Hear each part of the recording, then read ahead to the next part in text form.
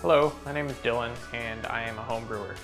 I've gotten a few requests from friends and family to do some YouTube videos to document my brewing, so that's why I'm here. I'm changing my brewing setup pretty significantly right now, so I thought this was as good a time as any to start.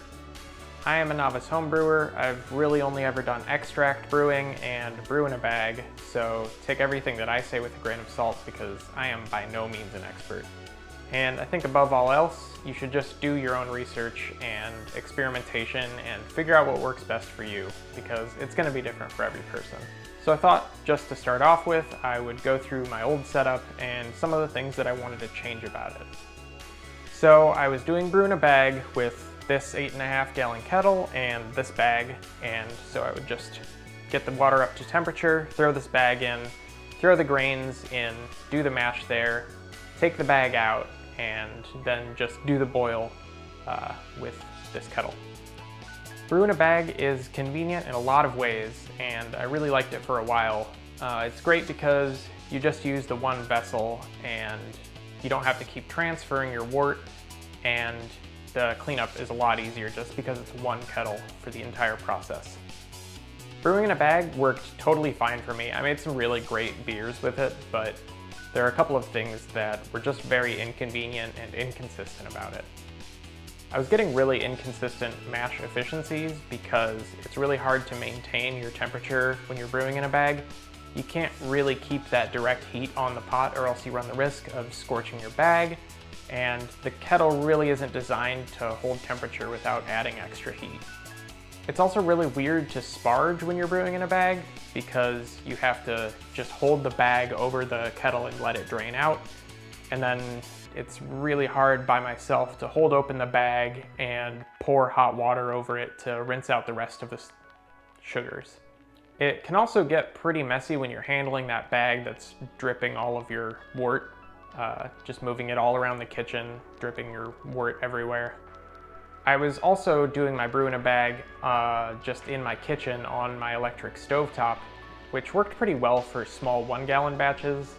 But once you move to five gallons, having to do a full volume mash and then full volume boil, uh, it really takes a long time to get that up to heat enough to just boil five gallons of wort. I think most people move pretty quickly from their kitchen stove to an outdoor propane burner. And propane is great because you can add just a ton of heat, get very fast boils, and make your brew day go so much faster. Moving to an outdoor propane burner would also allow me to keep using my kettle, which would be great because it would be a cheaper upfront cost. The downside is that this propane burner requires a pretty flat outdoor area, and I also live in the Seattle area, so I would want it to be covered, and that would allow me to brew on rainy days. Unfortunately, I actually don't really have easy access to any area that fits all of those requirements, so brewing on a propane burner is kind of out for me.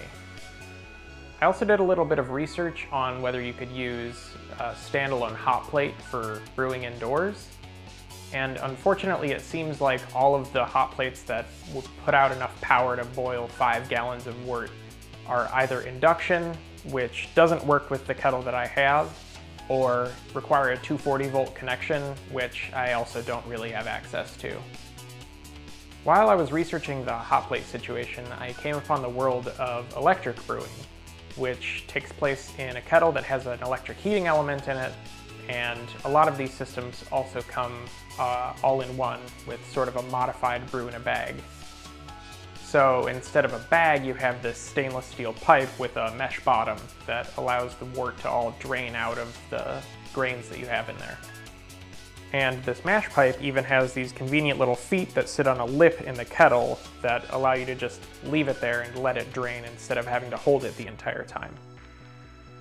Another upside of electric brewing is that I can brew right in my basement, which is where I ferment, so I don't have to keep lugging a five gallon carboy full of wort up and down stairs. Unfortunately, I couldn't continue using my old kettle, but you can get some of these electric brewing setups pretty cheap. This one that I ended up getting was only about 240 bucks. I also briefly looked into getting a 17 gallon electric brewing setup, but those also require 240 volt connections, which again, I don't have access to. So the setup that I ended up landing on and getting was this DigiBoil with the DigiMash setup. I ended up going with the version without the pump because it was $100 cheaper and I wasn't 100% sure that I needed it. And if I decide that I do need it, I can just get another pump at a later date. To wrap up this video, I want to do a quick test of this DigiBoil setup just to see how quickly I can get water from the tap up to mash temp and then again from mash temp up to a boil. So let's try that. All right, it looks like we're right at about six gallons. So let's get this system turned on and the heating elements on. And let's see how fast this thing will get to about 156 for our mash.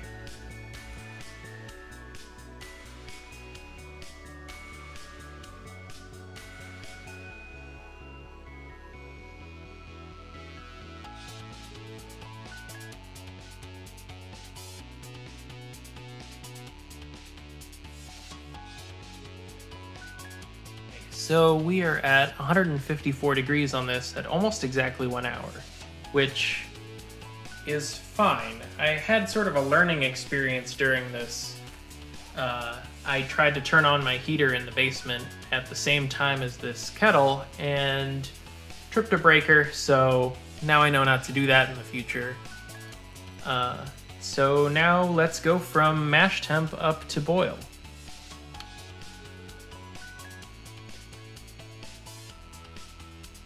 And I'm just gonna see how high. Eh, 248 will be plenty for a boil, huh? Alright. Let's start another timer and see how this one goes.